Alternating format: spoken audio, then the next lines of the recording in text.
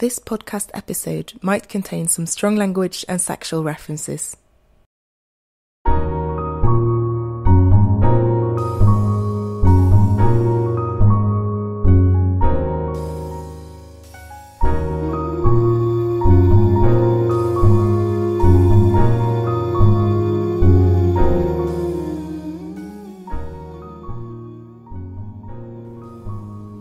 We are melting stone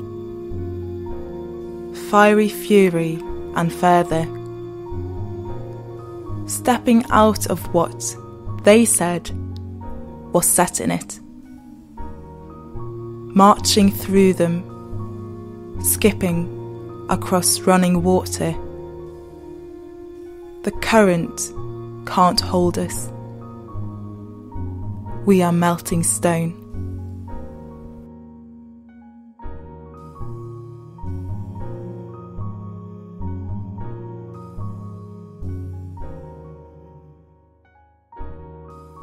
Uh, millennial love to me is something relatively new, something that has crept in our society uh, quite suddenly, probably because most of the people are quite busy in uh, recent times. They don't have a lot of free time to find a mate or someone to date uh, as we did traditionally in, past, in the past years.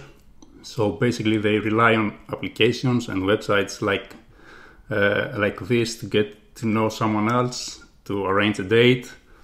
Uh, the concept is a bit strange for me because I believe I'm a bit of a romantic kind of guy. I believe that I should uh, fate would be the factor that determines if I'm gonna meet the the woman I'm gonna spend my life uh, with. But we have to realize that times are different, times change, we have to adapt, and this provides a good opportunity and chance to uh, allow people to get together so because being alone isn't really what humans are made for, and this provides a good chance for everyone to find his or her mate using technology and uh, those new means that are available to us uh, these years. Millennial love to me is both good and bad. And I think that's because there's so many opportunities now to date so many different people through dating apps. Um, and so yeah, social a lot of social media. Um, and I think it's really good that we've come so far from the days where we had to get married and have kids at such a young age.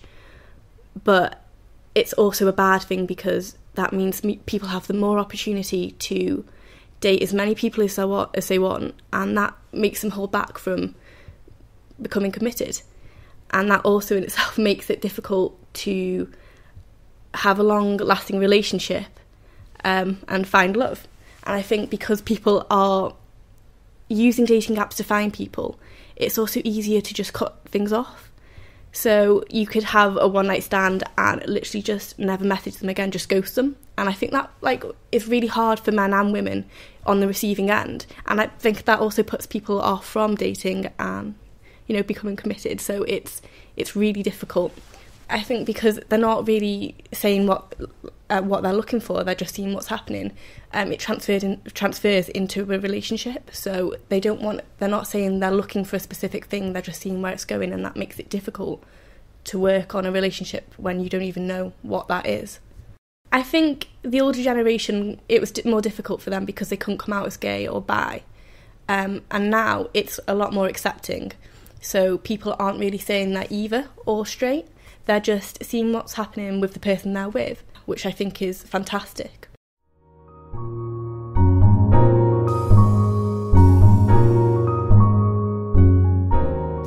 Hi there. My name is Alice. Thank you for listening in. You might have stumbled across this podcast, most probably having no idea what this is about. Or you might think, oh, yet another person spewing out ideas and opinions into the World Wide Web. Well, yes, that is what this is. And at the same time, maybe not. I am a social worker and a conversational motivational therapist with a postgraduate degree in gender, sexuality, and diversity studies, turned journalist. I was originally going to study couples therapy, but for many reasons this wasn't for me. Maybe the saying, those who can't teach, scared me enough to stay way clear of that. Not that my love life is all that at the moment, and funnily enough, here I am, probably touching that territory anyways. You might be wondering about the name of this podcast. Allie, her hairs and Chai. I am writing a series of short stories about Allie and will read them at the end of each podcast. Mostly relatable to the themes of the episode, but sometimes not so much. So stay tuned for that. In this podcast series, I am going to cover multiple topics, such as gender, sex, and the female orgasm, race, technology and social media, adult loneliness and mental health, and so on. This first episode, however, will be about millennial love. My experience with it and others, and I guess to not have wasted four years of education and experience. Somewhat professional input will be included, in the loosest form, of course. So, let's get to it, shall we?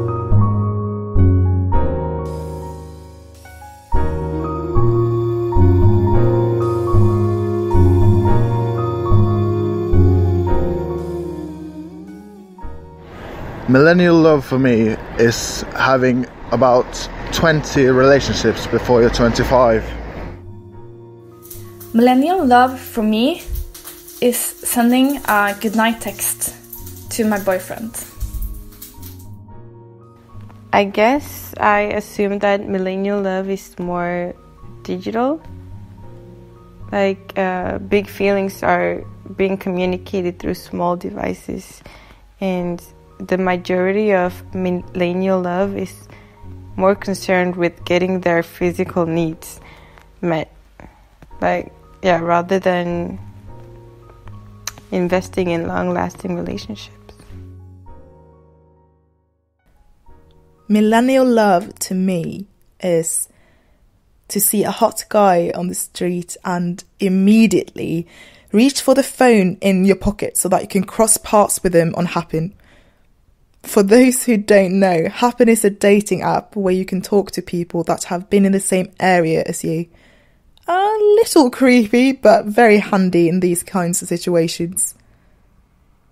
It's to be at a social event and meet an attractive person but feel like not having been able to stalk them on social media first make the odds of them planning to poison you being at least 50-50. It's to feel like a product in a basket of thousands of people all looking for some sort of intimacy, but always shying away from labels when you actually meet someone that you can see yourself with. And it's taking it slow meaning having sex and seeing whether it will be too painful to continue due to feelings, and then assess whether it's worth going on an actual date. I was in an almost five year long relationship from I was 18 till 22.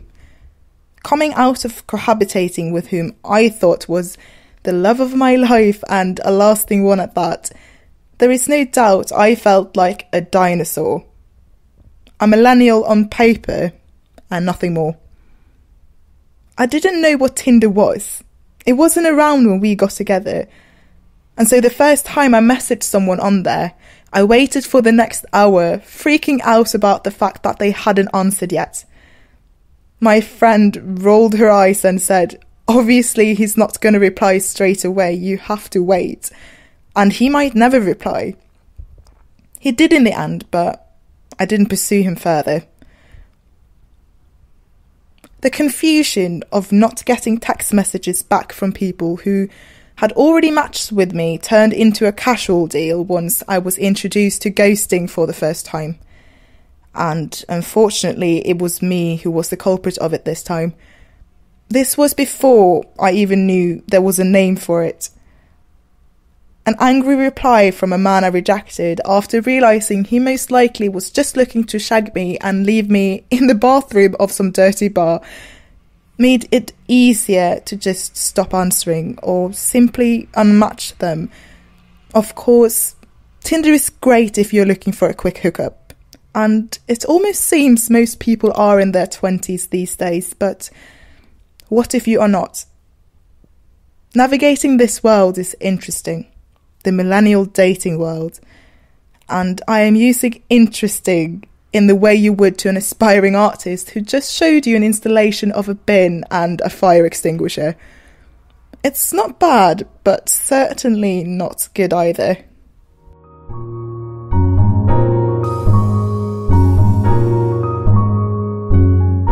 Poet Sarah Best refers to online dating in her poem Tinder as a wild west. It sounds like more people find navigating dating these days hard. But do these apps or online dating work to find romance or love? Tinder has been considered to be the most popular dating app. Some consider the app to facilitate a hookup culture. But research done for the Telematics and Informatics Journal, however, shows that one of the major motivations for use of Tinder actually is finding love along with, of course, to get some. There might not be any research needed to conclude whether Tinder works for casual sex, but does it work for finding lasting relationships, as people seem to be looking for just that? Apparently so. A quick search online shows multiple married couples and couples from long term relationships sharing their Tinder meeting stories. But why then can it almost feel like we have become consumers of intimacy, buying, quote unquote, and discarding as we see fit, ghosting, benching, and breadcrumbing our way through the maze of the online dating world? When you have endless choices, how are you supposed to not think that the grass could be greener on the other swipe? A research done by Michael Rosenfeld and Reuben Thomas shows that relationships from Tinder and online dating are no more likely to end in breakups than any other relationships. So maybe there is something to it. However, this was an American study and might not relate to other places in the world. Though a second study done by Elizabeth Timmermans and Cedric Courtois in Europe found that even though more than one third of Tinder encounters led to casual sex, more than a quarter ended in committed relationships. Perhaps online dating isn't as hopeless as it seems to many. And as a millennial myself, I'd have to admit that my reference to how things were and worked for previous generations is based on films, books, and grandma's short tales. Maybe our perception of our dating lives today being harder is based on an inherited nostalgia we are unable to pinpoint. Just a thought.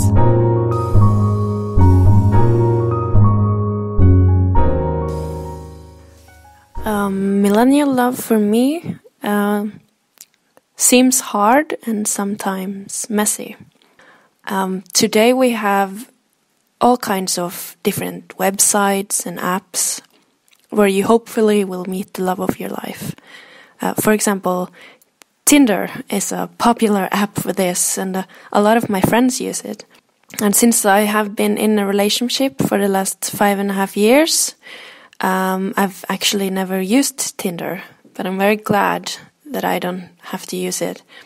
Um, because Tinder seems brutal to me um, and kind of impersonal my impression is that you base the person uh, on their looks, and because there are so many people who use it, you can just swipe and swipe until you find someone, I don't know, hot enough. Millennial love to me are the children uh, growing up in the 2000s, including my own child. It is the optimism and hope for the future, the unknown. I also think of those days that I spent on MySpace.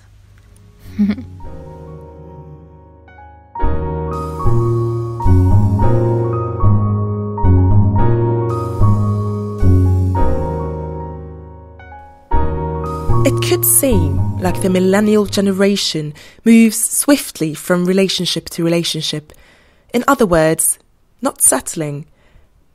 Apparently, millennials marry later than previous generations and have children later as well. At the same time, it's so far looking as if fewer millennial marriages end in divorce. Maybe millennials are doing something right here. But then again, who said marriage should be the destination for every relationship? And more and more people seem to cohabitate instead. With this new kind of freedom, though, it still seems evident from talking to multiple people from various places in the world that there is some feeling of disconnect. And maybe the massive freedom and individuality isn't necessarily freedom. Maybe having no grounds galvanizes us to fly, but without a destination, won't our wings grow tired? Perhaps too many options are just as much a cage as none at all. On the other hand, though, maybe friendships is the new millennial way of loving, replacing family life with family of friends. We move a lot more these days, with the world becoming smaller through not only social media, but also new ways and easier ways to travel. Maybe there is a link here to why it's harder to settle. Dating while looking for love as a millennial might be hard, but maybe love doesn't only have to be looked for in another person. Maybe people are looking for love for themselves these days. And yes, I know, self finding journeys have different connotations depending on whom you talk to. But finding ourselves in this world that to many feels chaotic might be just as important. To feel whole and love life for the sake of it. And maybe this is what millennials have gotten right that a life can be just as full by yourself.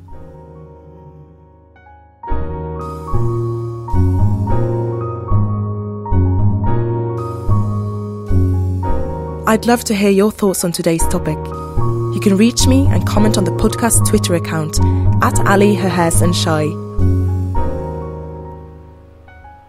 Thank you for listening to my first podcast episode, Millennial Love. I'm Alice. Until next time.